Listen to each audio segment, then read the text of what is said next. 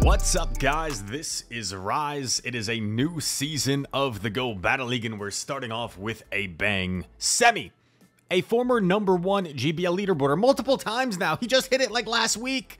He's back, and he has submitted us some Shadow Typhlosion action with the new move Thunder Punch. He's surrounding it with Azumarill and Goodra. So some decent water coverage around the Typhlosion.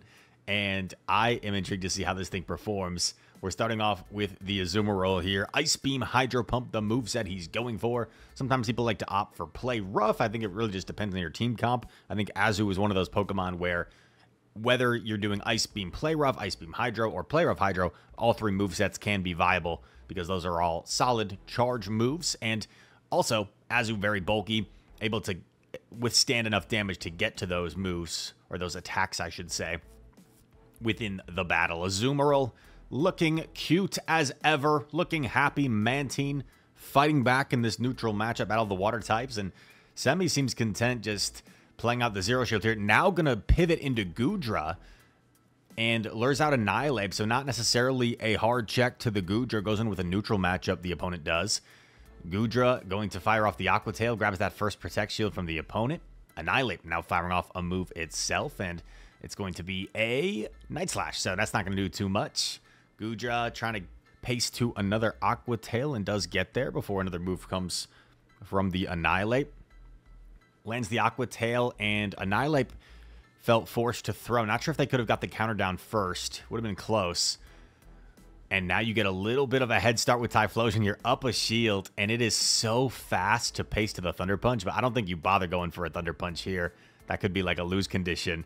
So just going straight for the Blast Burn. That Community Day move, so powerful, gets that shield. And you are one off the next one. Um, over farms, and I kind of like it because assuming they're running Stone Edge, you know Clodsire cannot double up. They are running Sludge Bomb, so they could theoretically double up since that's 50 energy. But then you just throw this instantly. Bang, get out of here, Clod. And that Mantine, very low, does get off a move, but you simply shield, get the Incinerate damage to go through. And that is a G to the G. Nice job starting things off. Shadow Typhlosion. Such a fun Pokemon. That was the thing that stood out to me most when they announced the new updates this season. Um, we all kind of speculated it was going to be relatively minimal in terms of impacting the meta because they don't want to totally change the meta right before NAIC and then Worlds in a few months. So it's like, it's man, Worlds is coming up soon. It's like six weeks. No, not quite. It's longer than that. It's like, oh, it's like two and a half months. Yeah. Because it's June now. So you got all of June, all of July, then it's August. So it's like two and a half months rather than one and a half months. Azu into Pelipper. Pelipper now might be seeing a little bit more play because of the nerf to Lanturn. So Lanturn's going to be less common. At least we presume so. I saw some friends saying they're still seeing Lanturn everywhere. Um, because the other part of it, right, is Lanturn gets nerfed. So now Spark does less damage. However, do people now disrespect Lanturn? So is Lanturn still good because of its typing? Uh, if people are disrespecting it, I don't know. Like this team in particular, right? like this team from Semi's pretty weak to a Lanturn lead. But we see Lucario enter the battlefield. Uh-oh, dude. Lucario not going to appreciate this incinerate damage. Oh my gosh, three incinerates all it took. How many incinerates to knock out a Lucario? Three, apparently. G to the G. Next opponent. Oh my gosh, so exciting. Azumir. But this is where you want to see the Azu. You don't have play rough, so this is where it kind of hurts you. Also, Semi, maybe like top three most swag in the community. Very cool guy. But I got to say, we got in a little bit of a scuffle today in Discord because I was excited about Eminem dropping Houdini. Listen to it if you haven't. It's very catchy. It's uh, kind of like Without Me, that same type of uh, tune, but kind of like remixed. Amazing music video. I loved it. And I was talking about it, and Semi calls me an old head saying I still listen to Eminem. Bro, Semi, you gotta put some respect on M's name, dude. Best rapper of all time lyrical technician, electrician. That's light work. Yeah, I said it. Okay, back to action. Azu versus Azu. Um, despite not having play rough, this Azu put in some work. Play rough knocks out. Now you go for the farm down. Opposing Azu will get off a move. That's tough. Just gonna sack the Goodra. Just gonna put it on Typhlosion. And right, you kind of are hoping that once Azu is out of the way, they're not going to have another answer to the Typhlosion. Uh-oh. Uh-oh. Okay. Oh, this is where Thunder Punch is so nice because you get there so quick, so you outpace. It's only 10 turns to every Thunder Punch versus it's 12, 12, 11 for uh, Body Slam. So, oh my gosh, this is so... Oh, the opponent let in a sneak opponent. You got to time that a little bit better, bruv. Going for the Blast Burn, interesting. I guess wants to guarantee the knockout or the shield. Blast Burn knocks out. What a call. Semi is popping off here. And now the Incinerates do so much by themselves. You really just need to go for Thunder Punch here. Makes sense. Oh my gosh, that does a lot. Two Incinerates. Gonna knock out. Yo. Yo, yo. That's the super fun thing about running Glass Cannon Pokemon like Typhlosion where you could be in a bad looking situation, but you save shields and suddenly you find yourself winning the game. That's the same thing with Shadow Magnezone, in my opinion. Like, you might be in a bad looking spot, but you just save two shields for Magnezone, and if they don't have fast move pressure in the back, they are done for. Also, side note, I flew back home today. Um, I'm sure some of you guys, I, I got some messages like wondering if I was okay because I hadn't posted in a while. So I was able to win the LA regional, um, which was awesome, and we'll get to a recap of that. And then uh, I went home for one of my childhood friends' weddings, and I got to see like some friends from high school, and then I went and saw my family back in Wisconsin. So, um, yeah, didn't wasn't able to like post a bunch of videos ahead of time in in uh ahead of knowing that I would be gone. So that's on me. But it was a nice little break, and I really uh, enjoyed both weekends seeing all sorts of people that I haven't seen in a while, people I care about. So it's pretty cool. And we're back now. We are back now. Um, I got this shirt, and I got two compliments on it at the airport. So if anyone in the comments wants to compliment my shirt, I wouldn't mind it per se. Azu going for the ice beam here against Skarm and uh, knocks out Skarm. Now you got Goodra versus Air. Battle of the Dragon Breath users. Goodra a little bit bulkier than Air. And uh, Air's going to get off a body slam. The Skarm's super low, right? So I think you just throw the Aqua Tail right away if you get there. Oh, wow. That's crazy. It looked like the Dragon Breaths from the Air outpaced the damage of the Goodra because it looked like they were around the same health. So that was uh, Hmm. That was kind of crazy. Azu into a shiny Mantine. Very cool. I like the shiny Mantine. I like that royal blue. Let me know what your favorite color is in the comments. My favorite color has always been like a royal blue. Aerial Ace, not doing too much, but because Mantine resists the bubbles and it's bulky, it does fairly well in this matchup. I think we saw it beat the Azumarill earlier. And uh, not having play rough might be a little bit worse for Azu here, because maybe you can two-shot with play rough plus the bubble damage.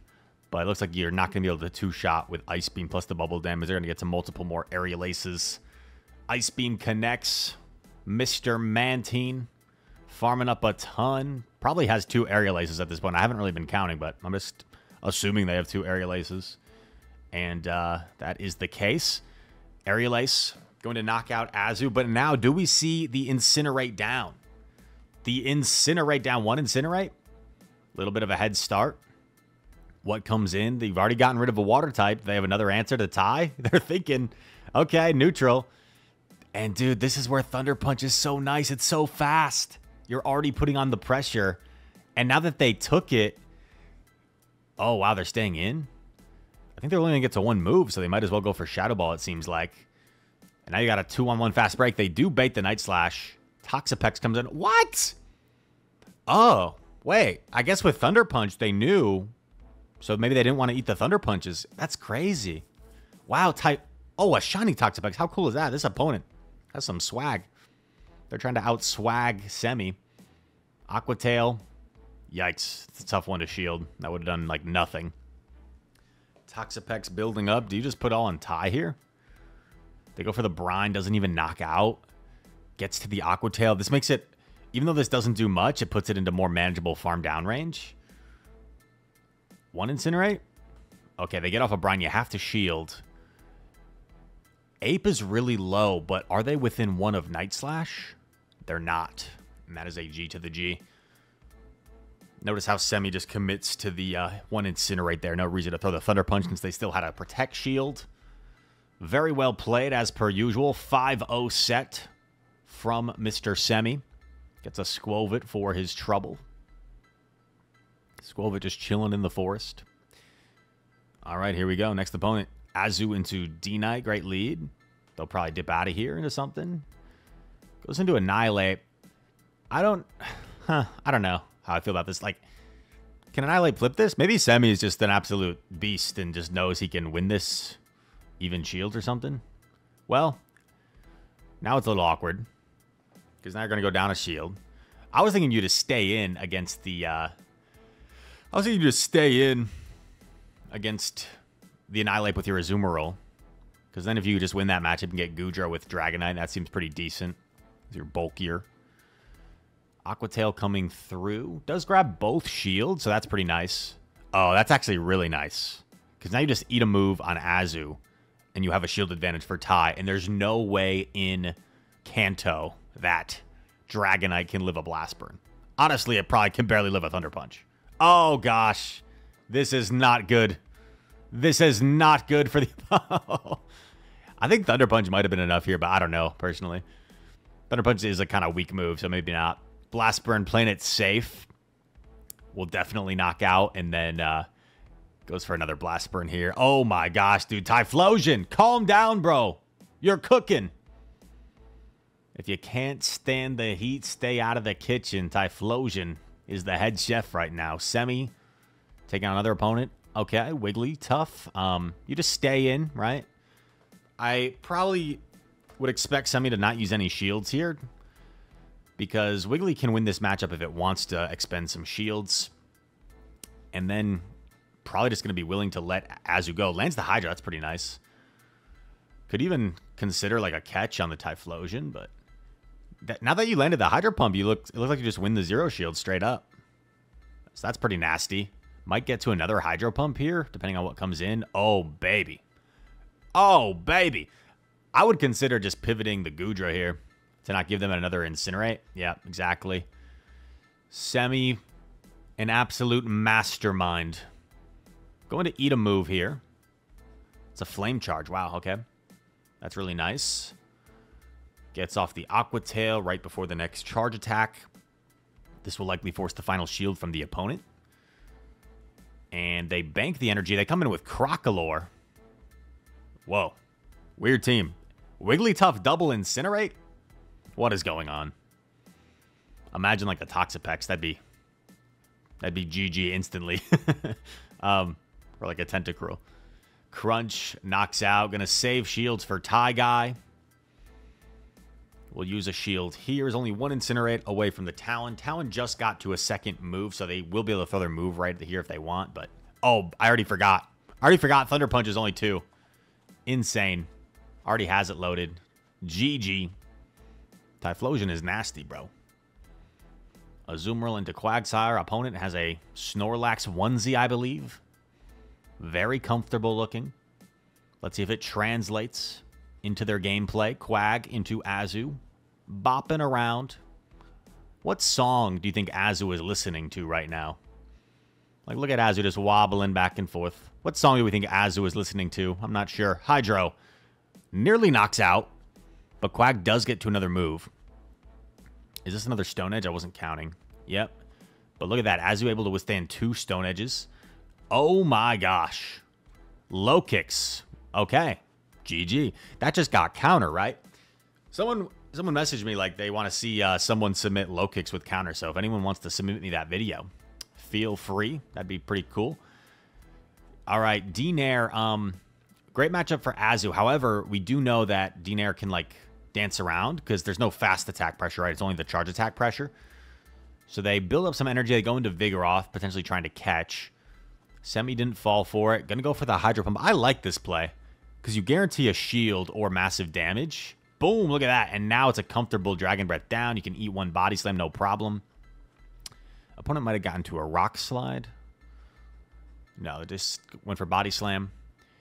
Dean comes back, just going to chip with the Aqua Tail. And these Dragon Breaths are going to be really valuable because, yeah, you're going to put it to a range where Azu can now bubble down, take a couple body slams. Two body slams will come close to knocking out, though. But I think we're just going to see Semi save the shields for Typhlosion no matter what. Stick to the game plan, man. Body slam connects. Oh, baby. And notice how he's just throwing the Ice Beam as soon as he can to get out of here. And if they take this, which they do now, the Incinerates are just going to be so nasty. Um, opponent could have, like, maybe had some play there. They If they threw after two or even after one, they could have potentially... Yeah, if they threw after one, I think they would have gotten to the next move. So maybe would have given themselves a chance, but Semi probably had that no matter what. Azu into Shadow Whiscash. I would say positive for Azu. However, Whiscash does win the ones and the twos, if I'm not mistaken. But, like, Azu just, uh, you can go straight Ice Beam pretty much here and two-shot it. Or we could see Semi go for the big Hydro Pump. They might not expect it. And this makes a lot of sense. Normally, Azu, you don't see running Hydro Pump, but with a Typhlosion, to, oh my gosh, to guarantee the massive damage or the shield advantage seems really smart. Maybe I'll copy Semi's team on stream. I don't I don't think I have a Shadow Typhlosion for Great League, though. I think I only have regular Typhlosion. Dang, that's disappointing. Mud Bomb connects.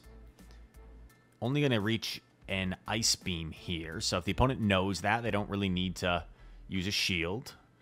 Going to let Azu go down. Coming with Typhlosion, I would presume. And in comes Gligar. Gonna just Whoa, okay. That looked like frame drops. It looked like he tried to throw instantly, but it didn't let him. But luckily, he gets it off before Gligar gets off a move. And now you just completely sacrifice your Goodra. No reason to protect shield here. You know there's a Skarmory waiting in the back. You just save those shields for Mr. Typhlosion. You don't care if Goodra goes down. Goodra is just soaking up energy here, soaking up damage. Gonna throw the Aqua Tail right before going down, and I don't know what the opponent does. I guess you have to shield. yeah, you have to shield to get off a move here. But they don't even get off a move. And uh, that's a GG. Semi with some spectacular plays as per usual. Sorry, my um, AirPods are charging if you heard like some dinging throughout the video. Um, I think uh, they're like having... Th my AirPods have kind of broke. It's really sad. AirPod Pros. Anybody know how to fix them? Let me know. Anyway, shout out to Semi awesome uh, submission with Shadow Type Typhlosion with the new move Thunder Punch added to its move pool. Um, really cool stuff and a good showcase of how dangerous it can be just going straight Blast Burn as well as how quick it can get to those Thunder Punches and make what used to be pretty bad matchups more favorable matchups, whether that could be something like a Toxapex or in a Azumarill or even in neutral matchups, simply the ability to get to a move quicker is always really nice. So, all that said, thanks so much for watching. If you enjoyed this video, leave a like, subscribe to the channel. If you're new around here, comment down below. All comments are appreciated. And all that said, thank you for watching. I hope to see you in the next one. Peace.